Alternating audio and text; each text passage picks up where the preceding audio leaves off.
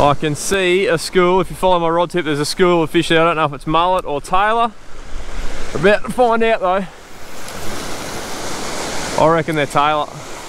This should be on for young and old if it is. Here we go. Just getting into the zone here now. Oh no, they more. Oh no, they're tailor. Oh!